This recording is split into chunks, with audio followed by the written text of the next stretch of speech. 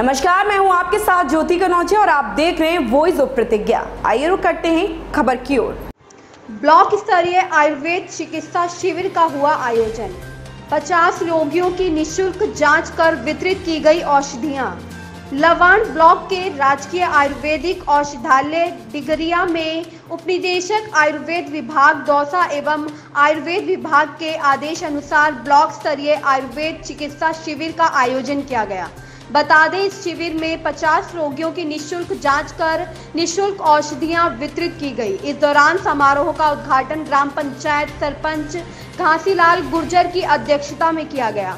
इस अवसर पर उद्घाटन समारोह में उप निदेशक आयुर्वेद विभाग दौसा डॉक्टर राम गोपाल शर्मा लवाण उप प्रधान धमन गुर्जर डॉक्टर ओम प्रकाश चतुर्वेदी, डॉक्टर श्याम सुंदर शर्मा, राजकीय senior secondary school principal Jagdish Narayan Kohli वरिष्ठ चिकित्सक डॉक्टर उत्तम गौतम बनियाना सहित अनेक गांववासी उपस्थित रहे। ऐसी खबर से जुड़े रहने के लिए आप देखते रहिए वॉइस ऑफ़ प्रतिज्ञा